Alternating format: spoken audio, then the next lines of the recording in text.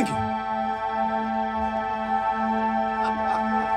I thought I was going to get cold tonight, Paul, but it's perfect. Everybody oh. feeling okay out there? Happy to be here? We are so happy to be here. It's fantastic. Thank you for coming along.